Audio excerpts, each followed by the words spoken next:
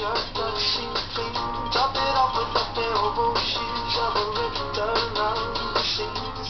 And I thought these shoes just don't shoot me.